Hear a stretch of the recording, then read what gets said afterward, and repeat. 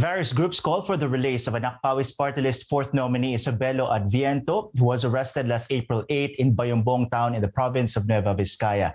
They say the charges against him are made up. For more on this, we are joined by Anak Pawis National President Ariel Casilao. Good morning, former Representative Casilao. Welcome to the program. Magandang umaga, Mike. Magandang umaga, Nikki.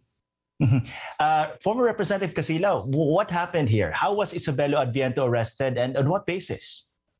Well, the, the warrant of arrest of uh, Kabuting, uh, we, we fondly call him Kabuting, ano, Mhm. uh, stemmed from an illegal search, uh, a very questionable search last December uh, 2, 2020. Mhm. Uh, ito ay kabahagi din kung bakit na-aresto at nakakulong ngayon si Amanda Echanis, no? the daughter of uh, the late, yung pinatay na presidente din namin sa anak Pawis na si uh, Carandal Echanis. No? So yung, yung, yung kaso na yan na tumakbo since December ay maraming loopholes, marami kaming question dyan sa korte.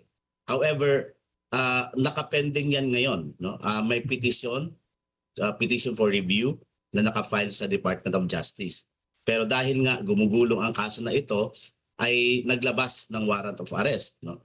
Ngayon, the warrant of arrest and itong kaso ni Kabuting ay isang bahagi doon sa matagal ng pangre-red tag sa kanya since 2018, Mike Mhm. um, after ng mga successful na pinamunuan ni Kabuting yung paniningil ng ayuda, yung mga serbisyo sa provincial government ng Cagayan Valley, es- especially ng, ng Cagayan noong panahon na tinamaan sila ng mga serye ng bagyo, uh, nanguna si Kabuting at ang grupo ng Anak Pawis doon sa paniningil sa mga pondo na kailangan ng mga magsasaka natin. Mhm. And kilala po si Kabuting sa matagal na panahon sa buong probinsya ng Cagayan at sa buong rehiyon ng ah, Lambak, Cagayan, no, sa Cagayan Valley bilang isang humanitarian and relief coordinator, Mhm. leader magsasaka sa matagal na panahon. Ah, matagal nang naitayo yung kilala mismo sa Cagayan Valley, yung Danggayan. Uh, Team Manalon na isang lokal na organisasyon ng mga magsasaka na sa mahabang panahon ay nag, naglilingkod sa hanay niya, sa hanay ng kanyang mga kauri ng mga magsasaka. Mhm. Pero since 2018, hindi na po huminto yung panreragtag sa kanya ah, doon mismo sa kanyang rehiyon. No? And that red tagging led to ah, not only accusing him of ah, an NPA ah, combatant himself or yung tinatawag namin na recruiter ng mga NPA, kundi yung talagang kanyang ginagawa ay dinidemonize yung mga effort ng relief, yung mga effort ng uh, services na ginagawa natin ay minamarkahan ito na bahagi uno na, na front ng CPP-NPA.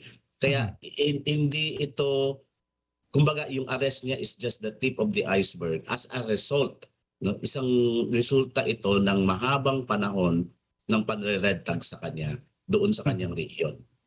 Kaay, puntahan lang natin yung ah, raid na sinasabi no, noong December last year. And sinasabi niyo maraming red flags doon, maraming questionable doon sa pagkaka, ah, kumbaga, raid noon sa kanyang bahay.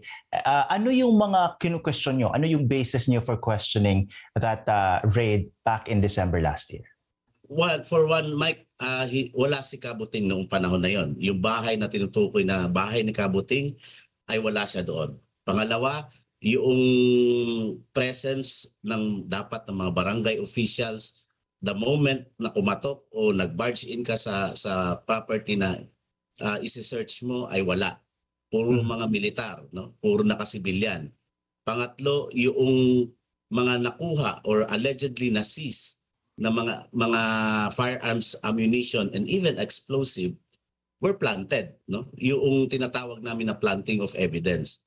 Pang-apat, yung certification na kung saan ay ah, ito yung mga nakuha na mga mga allegedly illegal ah, paraphernalias ay napaka-questionable dahil ginawa yan ah, umaga na pero nagawa ang raid nung panahon pa ng madaling araw 3 o'clock in, in early in the morning so Mhm. talagang na, napaka marami kaming question dito kaya nga hinabol natin ito sa Department of Justice. Unfortunately, wala pang aksyon na ginawa ang Department of Justice that led to the issuance of this warrant.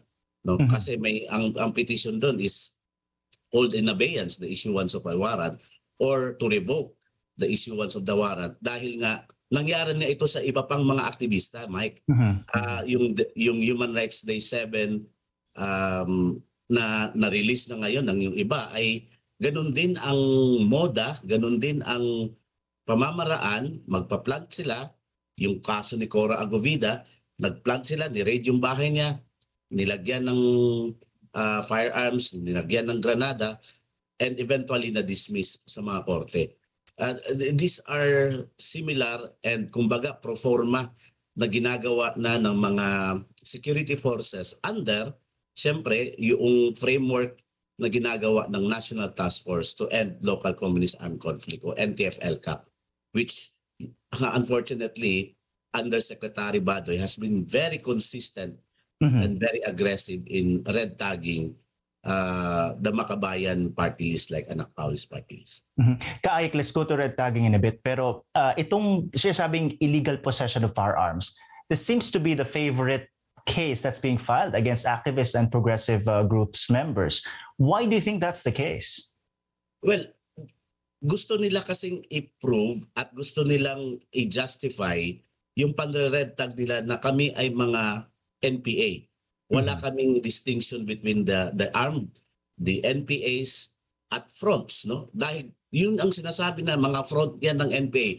Therefore, ang NPA dahil nag, nag naglulunsad sila ng armed revolution, ginagawa nila yung pagpa-planting ng mga armas, ng mga granada to prove that allegation na kami ay mga uh, fronts ng NPA. Precisely, Kabuting being the fourth nominee of Anak Pawis, yung kanyang illegal possession of firearms and ammunition and explosive ay walang kaibahan ito sa iba pang mga kilala, mga leader at mga aktivista na sinampahan ng mga gawa-gawang kaso, illegally search yung mga bahay o mga opisina at may mga questionabling na samsam na mga armas, pampasabog at mga granada, mga ganon. Mhm.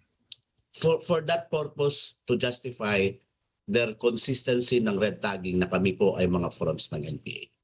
Mhm. And the Supreme Court, actually, in response to these cases, particularly to Bloody Sunday uh, last year, they came up with some guidelines to guard against arbitrary issuance and enforcement of warrants. Were these followed in this case specifically? Were body cameras used during the enforcement of the warrants? And were these issued according to the guidelines?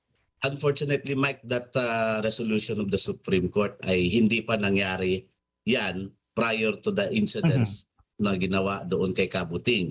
Mhm. Precisely. December 2020 pala, no? December Yeah, 2020. Yeah, the, the Bloody Sunday that led to that uh, action of the Supreme Court um, as a, a measure that will uh, lessen, no? Ka- Mhm. Kahit man lang babaan yung insidente na inabuso, yung uh, legalidad, yung tinatawag nga namin dito yung uh, weaponizing the law eh Mhm. uh, inabuso yung legalidad ng illegal possession of firearms and explosive as a means to constrict the liberty ng mga aktivista, ng mga human rights defender para uh, kami ay uh, makulong for for a certain period of time, one year, two years, but eventually dahil nga yung batayan ay napaka uh, suspicious, questionable, nababasura ito later on, Mike. Kaya, kaya Mhm. we are also very confident sa case ni Kabuting, ni Isabelo Advento, ay mababasura ito, eh, of course, kung talagang usapin ng legalidad, usapin ng ah, political na ah, background nito, kung bakit nangyari ang ang kaso nito ni Kabuting, the, the court will really understand and definitely will favor na he's, he's innocent. Kung, kung makikita niya ang track record ni Kabuting, na leading relief operation, humanitarian missions sa kapwa niya magsasaka, um, it will disprove all the lies na, na sinasabi ng, ng NTF-LCAC na si Kabuting ay NPA leader sa Cagayan Valley or si Kabuting ay recruiter ng mga NPA sa Cagayan Valley.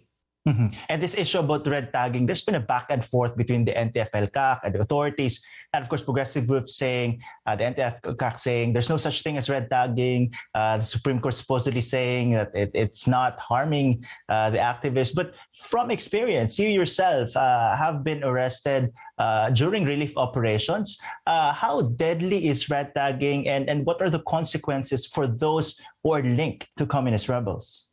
Well, the Bloody Sunday is a very concrete example, Mike. No? Pinakahalimbawa po iyan na resulta ng red tagging at ang pinaka-deadly na resulta ng red tagging.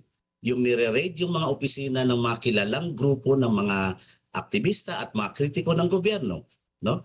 At uh, sinasabihan na nanlaban, uh, nanlaban ito or yung mga nire-raid ng mga bahay ng mga leader o kahit ng mga coordinator ng iba't ibang mga progresibong organisasyon na na-red tag at uh, gagawin na nanlaban ito, ito yung pinaka-dangerous uh, uh, result. Mm-hmm.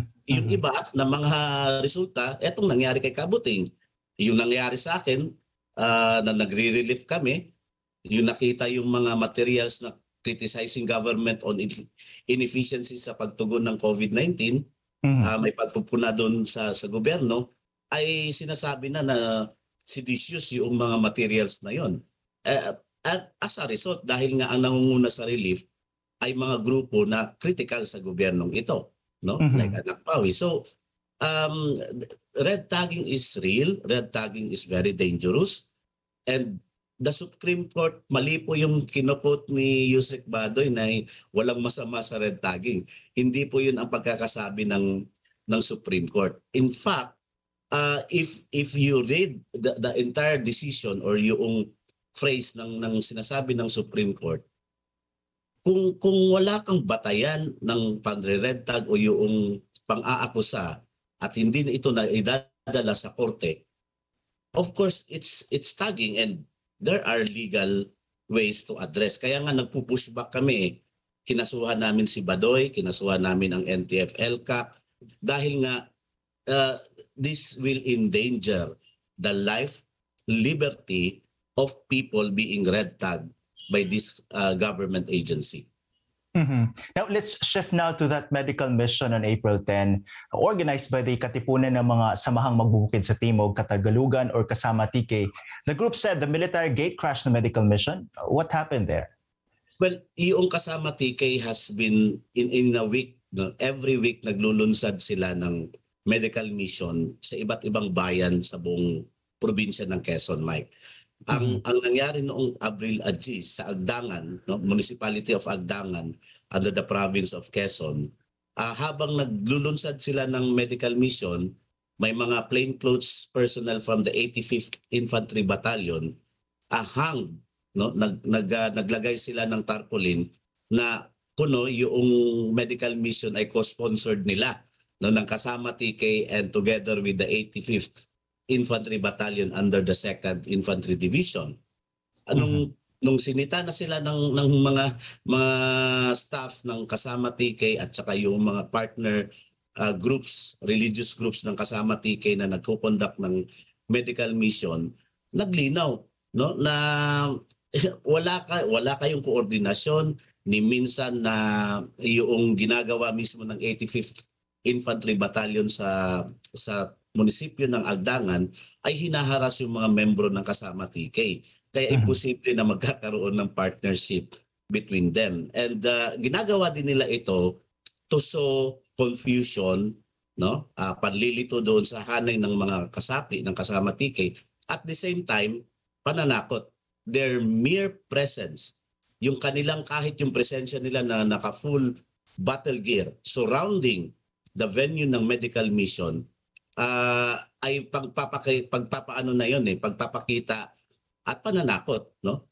Uh, ano ba mm-hmm. ang kinalaman ng mga kasundaluhan sa isang uh, humanitarian na gawain tulad ng medical mission na pupuntahan ka ng uh, napakaraming mga fully fully armed no uh, ng mga personahe ng 85th Infantry Battalion. Mm, and the implications of this, Kaik, uh, the fact that, for example, if a group uh, that has been supposedly linked. They're linking some of the progressive groups with the communist rebels entering into a medical mission with the, the military. Uh, what's the message being sent uh, by these photo ops that uh, the military wants to, to conduct? Well, Kasama TK uh, is a local regional organization of farmers in Southern Tagalog, Mike. Mhm. Kasama TK is also being ragtag for the longest time. No? Kasama TK dahil isa siyang ah, chapter ng Kilusang Magbubukid ng Pilipinas, ay national uh, peasant organization. Ang gusto nila ipakita na ang mga leader at kasapi ng Kasama TK ay nag-cooperate na sa sa sa mga militar because they have been doing in Quezon forced and fake surrender sa pilitan at peking pagpapasuko ng mga membro ng kasama TK sa probinsya ng Quezon. At gusto nilang sasabihin na bumaliktad na ang mga kasapi at mga leader ng kasama TK at nakipagkaisa na sa NTF CAC o sa mga kasundaluhan like the 85th Infantry Battalion.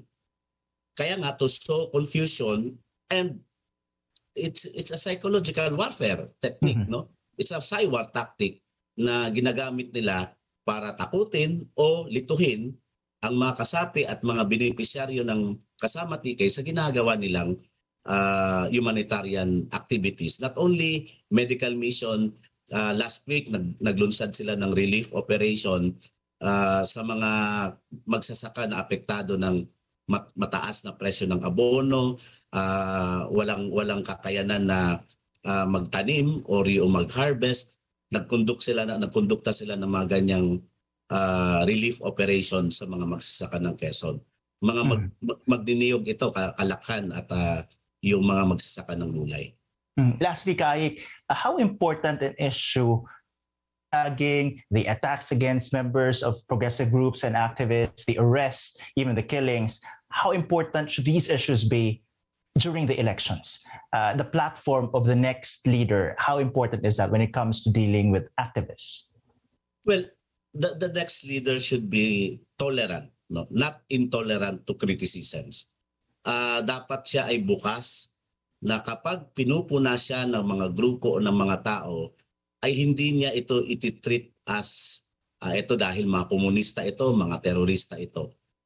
Binubukas niya dapat ano ang mga dahilan kung bakit nagpupuna ang mga grupong ito. No? May mga criticism ang mga grupong ito. Pangalawa, not only recognizing uh, the issues being raised by the critics of government, kundi addressing. Yun yung pinakamahalaga, Mike. No. Ah, may mga batayan ang mga pagpuna na ito at these are relevant to different social issues and ills of our society, mga problema ng ating lipunan at na kailangang sa- sagutin, kailangang i-address ng ng gobyerno dahil ang mga problema namang ito ay hindi bago. Pinasa na ito sa mga henerasyon, naipasa na ito sa mga nag, dumaang mga pangulo o dumaang mga gobyerno.